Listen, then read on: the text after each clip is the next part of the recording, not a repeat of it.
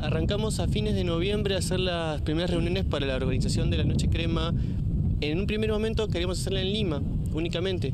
Pero después, en, tipo en la quincena de diciembre, dijimos, ¿y si probamos provincia? A ver qué pasa.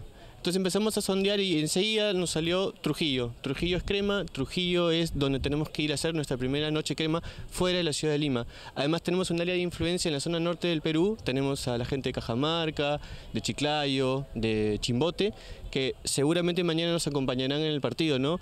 Eh, te voy contando un poco, eh, para mañana tenemos un espectáculo lo más similar posible a la Noche Crema que pudieron haber visto por la televisión los que no pudieron estar esa noche en Lima.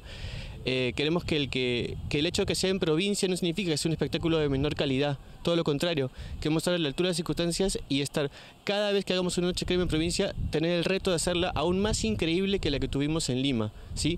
Eh, van a poder ver eh, no solamente en los que vengan los espectadores, van a poder ver el espectáculo de luces, van a ver un show de banderas, va a haber eh, los, los, videos que pudieron ofrecer esa noche en la, en la noche, eh, crema de la semana pasada, eh, espectáculo de fuegos artificiales, van a haber varias sorpresitas más que esperemos que las puedan ver eh, mañana los que vengan y estar todos juntos, ¿no? Acá en el estadio. El hecho que sea no sea en Lima no significa que tenga una calidad inferior. El plantel viene en todas las figuras que pudimos haber eh, visto en la Noche Crema y que vienen siendo parte del plantel en la renovación que está teniendo este año, ¿no?